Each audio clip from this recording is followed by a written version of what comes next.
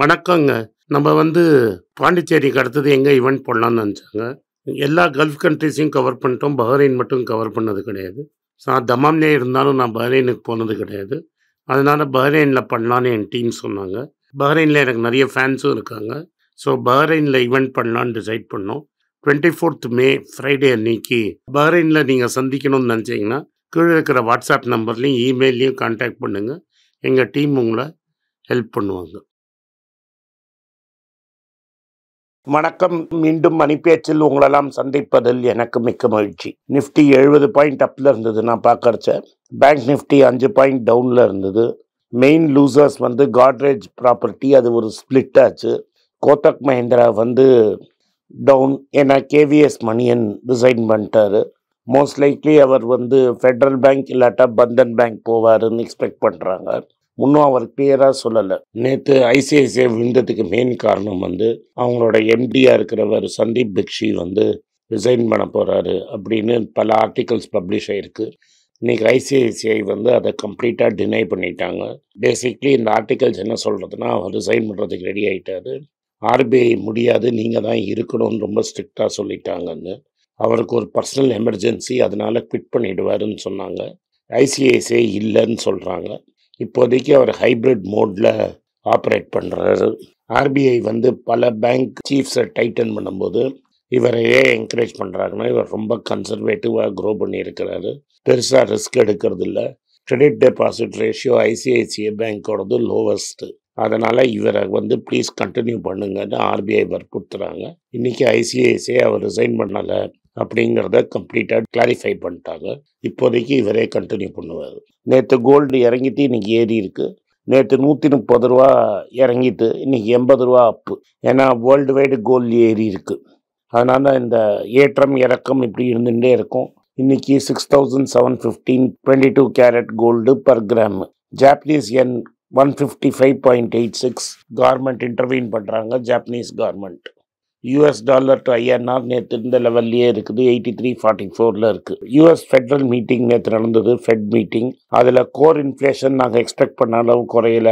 அதனால் interest rate ஹையராக இருக்கும் for லாங்கர்னு சொல்லியிருக்காங்க. So five point two five to five point five இருக்கும். அதனால் மெதுவாக வந்து இன்னும் கொஞ்ச நாளைக்கு இப்படியே இருக்கும். அவங்க வந்து செகண்ட் ஹாஃப் ஆஃப் தி இயர்னு சொல்லிட்டாங்க. ஸோ ஜூன் தேர்ட்டியத்துக்கு அப்புறம் தான் ஜூலையில் ரேட் கட் வரலான்னு சில பேர் சொல்கிறாங்க சில பேர் செப்டம்பருங்கிறாங்க சில பேர் ரேட் கட்டே வராதுங்கிறாங்க. ஆனால் யூஎஸ் ஃபெட்ரல் ரிசர்வ் நேற்று என்ன அனௌன்ஸ் பண்ணாங்கன்னா ரேட் ஹைக் இருக்காது இப்போதைக்குன்னு சொல்லிட்டாங்க. ஏன்னா சில பேர் ரேட்டையே ஏற்றுற மாதிரி பொசிஷன் ஆகிடும்னு சொல்கிறாங்க அதே மாதிரி எவ்ரி மந்த் வந்து மெச்சூர் ஆகிற பாண்டு ஒரு அறுபது பில்லியன் டாலர் வாங்காமல் இருந்தாங்க.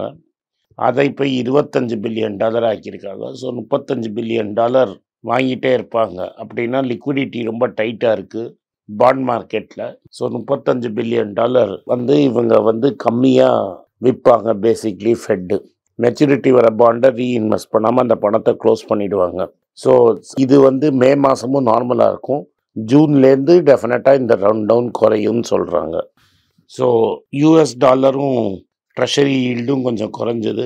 ட்ரெஷரி ஈல்டு குறைஞ்சதுக்கு ஒரே காரணம் வந்து இந்த ரன்டவுன் குறைஞ்சு ட்ரெஷரிக்கு சப்போர்ட் வந்து ஃபெட்லேருந்து வரும்னு சொல்கிறாங்க பட் ஓவராலாக பார்த்தீங்கன்னா இன்ஃப்ளேஷன் ஃபிகர்ஸ் ரொம்ப டிசப்பாயிண்டிங்காக இருந்தது. அதனால் வந்து இப்போதைக்கு ரேட் கட் வராது. ரேட் கட் வரலன்னா இந்தியா மாதிரி ஊருக்கு மெயினாக வந்து ஐடி செக்டரில் ஷார்ட் டேர்மில் பெரிய வலி வலிக்கும். இன்னும் ரேட்டு குறையலாம். நம்ம வெயிட் பண்ணிகிட்டே இருப்போம் குறைஞ்சா நம்ம கன்சிடர் பண்ணுவோம். குறையலையா ஹாப்பியாக வெயிட் பண்ணுவோம். அதே மாதிரி ஸ்டார்ட் அப்புக்கெல்லாம் பெரிய ப்ராப்ளம் இருக்கும். ஹெவி ப்ரெஷர் இருக்கும் ஸ்டார்ட் அப் இண்டஸ்ட்ரியில் ஸ்டார்ட் அப்பில் நிறைய பேருக்கு வேலை வாய்ப்பு போகிறதுக்கு வாய்ப்பு இருக்குது பல ஸ்டார்ட் அப் க்ளோஸ் பண்ணும். நிறைய ஸ்டார்ட் அப் என்ன பண்ணுவாங்க? டட் பப்ளிக் இஷ்யூ போடுவாங்க. அந்த ட்ராப்பில் மாட்டிக்காதீங்க. இது மாதிரி ஒரு டட்டு பப்ளிக் இஷ்யூ போட்டது கிரீஷ் மாத்ரிபூதம் ஃப்ரெஷ் ஒர்க்ஸு அவர் மேலே ஒரு லா சூட் வேறு இருக்குது அமெரிக்காவில் கிளாஸ் ஆக்ஷன் லா சூட் அதாவது அவர் பப்ளிக்காக போகிறச்ச ஃபுல் டீட்டெயில்ஸ் அவர் கொடுக்கலன்னு. கிரீஷ் மாத்ருபூத்தம் என்ன சொல்லிட்டார்? இனிமேல் நான் சிஇஓ இல்லை. நான் எக்ஸிக்யூட்டிவ் சேர்மனாக இருப்பேன். கம்பெனி பாட்டு கம்பெனி நடக்கும். நான் புது ப்ராடக்ட்ஸில் கான்சென்ட்ரேட் பண்ணுவேன். அப்படின்னு சொல்கிறாரு ஸோ என்ன ஆயிடுச்சுன்னா உடனே ஷேர் விலை புத்துன்னு விழுந்து இருபத்தஞ்சு பர்சன்ட் குறைஞ்சிருச்சு. இதை நான் பல தடவை இந்த ஸ்டாக்கை விற்றுருங்க விற்றுருங்கன்னு உங்களுக்கு அட்வைஸ் கொடுத்துருக்கேன். அட்வைஸ் ஃபாலோ பண்ணவங்க நல்லா ப்ராஃபிட் பண்ணியிருப்பீங்க. அட்வைஸ் ஃபாலோ பண்ணாதவங்க அடி வாங்கியிருப்பீங்க. ஸோ இருபத்தஞ்சு பர்சன்ட் காலி. நான் அதை ட்ராக் பண்ணுறதில்ல அதனால் எவ்வளோ விழுந்திருக்குன்னு தெரியாது. டென்னிஸ் வுட் சைட்னு ஒருத்தர் இது வரைக்கும் அந்த கம்பெனியோட பிரசிடெண்ட்டாக இருந்தவர். அவர் புது சிஇஓவாக இருப்பார். காட்ரேஜில் ரெண்டு ஃபேமிலியாக ஸ்ப்ளிட் ஆச்சு. மூணாவது ஒரு பிரதர் இருந்தார் 72 ரெண்டு வயசு. ரஷீத் நைரோஜி காட்ரேஜ்னு. அவரோட சொத்து வந்து மூணு பில்லியன் டாலருக்கு மேலே இருக்கும். அவர் one of the richest men in India அவர் வந்து இந்த பிஸ்னஸில் ரொம்ப இன்ட்ரெஸ்ட் காட்டலை. அவர் என்வாயர்மெண்ட்டில் ரொம்ப இன்ட்ரெஸ்ட் காட்டிகிட்டு இருந்தார். ஒரு காட்ரேஜ் எஸ்டேட்டுக்குள்ளேயே ஒரு பெரிய பேர்ட் பார்க் இருக்குது ராப்டர்ஸ் அப்படின்னு ஒரு டிபிக்கல் பேர்டு. மற்ற பேர்டை ஹண்ட் பண்ணுறது அதுதான் இவருக்கு ஏரியா ஆஃப் இன்ட்ரெஸ்ட்டு. அதை பற்றி ஒரு புஸ்தகம் எழுதியிருக்காரு. அவரோட காலத்துக்கு அப்புறம் அவரோட எல்லா ஷேரும் வந்து ரெண்டு பார்ட் ஆஃப் தி குரூப்ஸு ஒன்று ஆதிர் காட்ரேஜ் இன்னொன்று ஜம்ஷேட் காட்ரேஜ். ரெண்டு பேருக்கும் பாதியாக பிரிச்சுட்டாரு இந்த ஸ்பிளிட்டுங்கிறது ரொம்ப அமைக்கபிள் ஸ்பிளிட் ஸ்பிளிட்டுன்னு சொல்கிறதே தப்பு. பேசிக்லி டூ கசன் பிரதர்ஸ் இருக்காங்க. அவங்க வந்து இத்தனை நாள் ஒத்தமையாக இருந்துட்டாங்க நூற்றி முப்பது வருஷம். அவங்களுக்கு ஒருத்தருக்கு எண்பது வயசுக்கு மேலே ஆயிடுச்சு.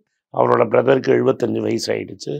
அவங்க பசங்க தனித்தனியாக ஸ்ட்ராட்டஜி பண்ணுங்கிறதுனால ரெண்டு குரூப்பாக பிரிச்சிருக்காங்க. லேண்ட் டெவலப்மெண்ட் அக்ரிமெண்ட்டு முன்ன மாதிரி கண்டினியூ ஆகும். லிஸ்டடு எல்லாமே ஒரு கம்பெனிக்கு போயிடும். நான் லிஸ்டடெல்லாம் வந்து முந்நூறு ஃபேமிலி கிட்ட இருக்கும்.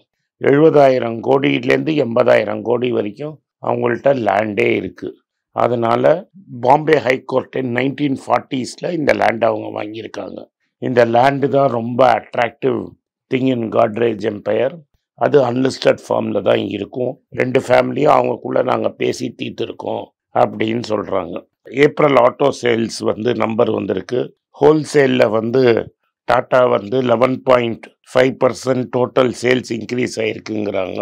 எழுபத்தி ஏழாயிரத்தி ஐநூற்றி இருபத்தோரு வண்டி டோட்டலாக விற்றுருக்கோன்னு சொல்கிறாங்க மாருதி வந்து four point seven percent rise வந்து ஒரு லட்சத்தி அறுபத்தெட்டாயிரத்தி எண்பத்தி ஒம்பது வண்டி விற்றுருக்கோன்னு சொல்கிறாங்க ஹியூண்டாய் வந்து அறுபத்தி மூணாயிரத்தி எழுநூற்றி ஒன்று விற்றுருக்கோன்னு சொல்கிறாங்க டாடா மோட்டார்ஸில் வந்து கமர்ஷியல் வெஹிக்கிள்ஸும் சேர்ந்து இருக்கும் அதனால் கொஞ்சம் ஹையராக காட்டுறது.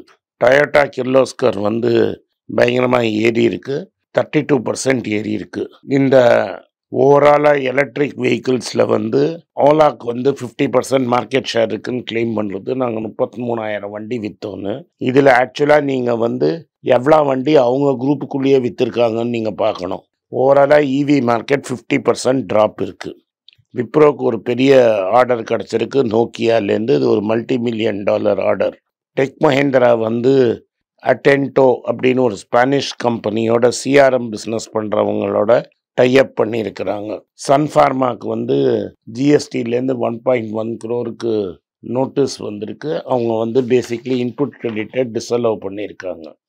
வேதாந்தா திரும்பி என்ன கிளைம் பண்ணுறாங்கன்னா நாங்கள் திரும்பி பணத்தை இன்வெஸ்ட் பண்ண போகிறோம் அப்படின்னு நான் உங்கள்கிட்ட சொன்னது தான் உண்மை. இப்போதைக்கு அவரோட கடனையே மேனேஜ் பண்ண முடியாது.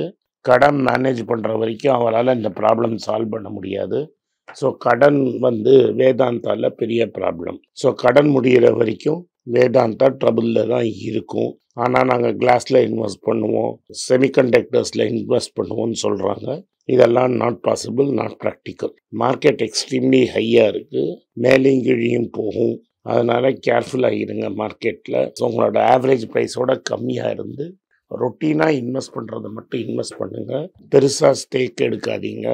வெயிட் பண்ணுங்கள் மார்க்கெட்டில் ஒரு கரெக்ஷன் வரத்துக்கு வாய்ப்பு இருக்குது மார்க்கெட் இந்த லெவல் வந்தால் ரொம்ப டயர்ட் ஆகிடுது அதனால் நம்ம என்ன பண்ணுறோம் கோல்டு கோல்டு ரிலேட்டடாக financing companies and undervalued stocks such as Natco Karnataka Bank இது மாதிரி மட்டும் பார்ப்போம். And be very careful ITC still undervalued மற்றபடி எஃப்எம்சிஜி ஸ்டாக்ஸ் எல்லாம் ஹெவி ப்ரெஷரில் இருக்குது so wait and watch carefully நன்றி வணக்கம். இந்த வீடியோ உங்களுக்கு பிடிச்சிருந்தா இந்த வீடியோவை லைக் பண்ணுங்கள் எங்கள் சேனலை சப்ஸ்கிரைப் பண்ணுங்கள் பெல் நோட்டிஃபிகேஷன் தட்டுங்க. இந்த வீடியோவை உங்கள் சொந்தக்காரங்களுக்கும் ஃப்ரெண்ட்ஸுக்கும் அனுப்புங்க. அவங்கள பார்க்க சொல்லுங்கள் நன்றி வணக்கம். வணக்கங்க. இந்த ஃபைனான்ஸ் நியூஸை பற்றி டிஸ்கஸ் பண்ணதுக்குன்னு தனியாக ஒரு ட்விட்டர் ஐடி வச்சுருக்கோம். கீழே அந்த இதை ட்விட்டர் ஐடி வரும். என்னோடய இன்ஸ்டாகிராம் ஐடியும் கீழே இருக்கும். அதில் ஷார்ட் வீடியோஸ் வரும். ஸோ என்னை எக்ஸ்க்ளூசிவாக ஃபைனான்ஸ் விஷயத்தில் ஃபாலோ பண்ணணும்னு நினைக்கிறவங்க கீழே இருக்கிற ட்விட்டர் ஐடியும் இன்ஸ்டாகிராமையும் ஃபாலோ பண்ணுங்க. நன்றி வணக்கம். உங்கள் பேராதரவுக்கு மிக்க நன்றி. நான் டோட்டலாக ஐந்து புஸ்தகங்கள் எழுதியிருக்கிறேன். மூணு வந்து ஆங்கிலத்தில் எழுதியிருக்கிறேன். அதில் ரெண்டை வந்து தமிழாக மொழிபெயர்த்திருக்காங்க. ஸோ டோட்டலாக அஞ்சு புஸ்தகம் ஆச்சு. இந்த அஞ்சு புஸ்தகத்துக்கு ஹார்ட் காப்பி வேணும்னா நீங்கள் கீழே இருக்கிற வாட்ஸ்அப் நம்பருக்கு மெசேஜ் அனுப்பிச்சிங்கன்னா எங்கள் டீம் உங்களை காண்டாக்ட் பண்ணுவாங்க. இந்த ஐந்து புஸ்தகங்கள்ல மூணு புஸ்தகம் வந்து கிண்டலில் இருக்குது அமேசானில் கிண்டலில் வாங்கணும்னு ஃபீல் பண்ணுறவங்க நேராக கிண்டலில் வாங்கிக்கலாம். தமிழ்லேயே யாராவது ஃபைனான்ஸ் நியூஸ் படிக்கணும்னு ஃபீல் பண்ணிங்கன்னா தயவு செஞ்சு மணி பேஜ் டாட் காமை விசிட் பண்ணுங்கள்